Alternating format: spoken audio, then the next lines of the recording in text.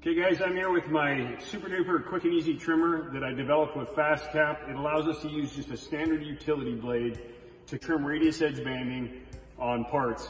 We're gonna place it on there, we're gonna place it flat. It allows us to grab onto it and pull that blade. So I'm gonna just set my thumb on top of that blade, trims it nice and flush every time, doesn't gouge into the work, and it's not a big expensive costly trimmer.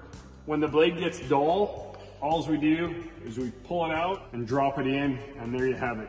Uh, the blade is easy to change, so it's just got a magnet in it. It slips into place, and it's got an indentation, and it holds the blade firmly. You can store it uh, on a metal area. You can you can stick it on that. It holds the blade flush in there.